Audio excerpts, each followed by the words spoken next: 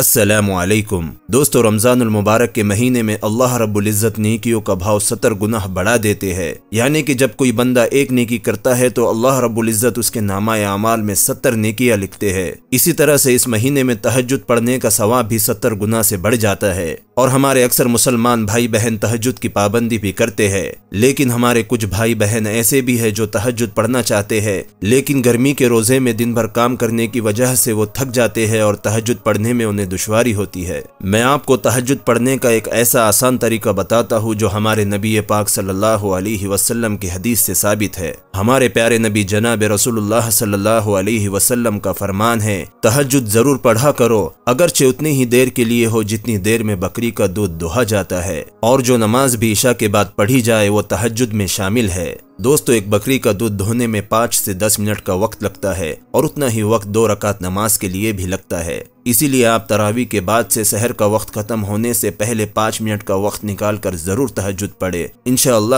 आपके लिए बड़ा ही फ़ायदेमंद होगा।